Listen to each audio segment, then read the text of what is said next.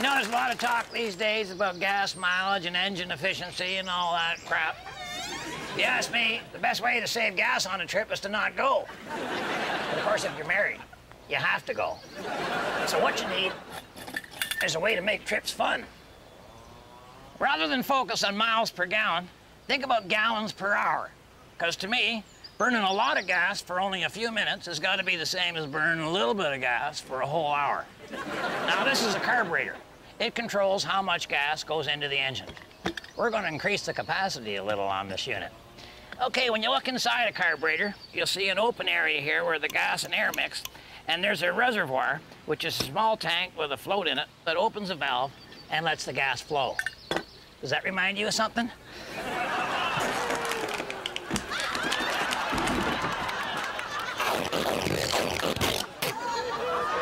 Toilet drain is a little large for the intake manifold, but these toilet gaskets are pretty flexible. Made out of beeswax, so real easy to work with. if you're a bee. I had to increase the size of the gas line to my new porcelain carburetor, so I went with three quarter inch copper. My wife always says, go with the flow. I will. Now to control the whole unit, I ran a piece of wire from the flush handle down through the firewall, hooked it onto the top edge of my gas pedal. So if you find she's idling too fast, just jiggle the handle. Pretty sharp looking, isn't it? I call it a Kybo charger. I just hooked up the fuel pump and I'm waiting for the tank to fill up. Okay, they say the proof of the pudding is in the eating. Maybe that's not the best analogy. Wait a minute. This is a man's car. But remember, if women don't find you handsome, they should at least find you handy. And they'll find me gone.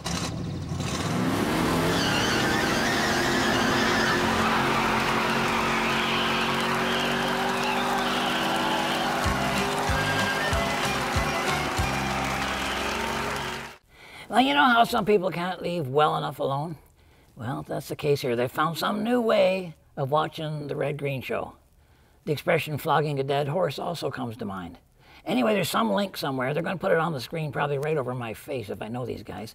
And you follow that and all the instructions and everything there. But apparently, uh, they have they schedule and they watch shows, or they put a bunch of handyman corners together, or they who knows what they're going to do. But it's interactive, which means you actually get to interact, which of course I was never interested in doing. But uh, we got somebody who is. Uh, check it out. Uh, if you don't enjoy it, don't call me.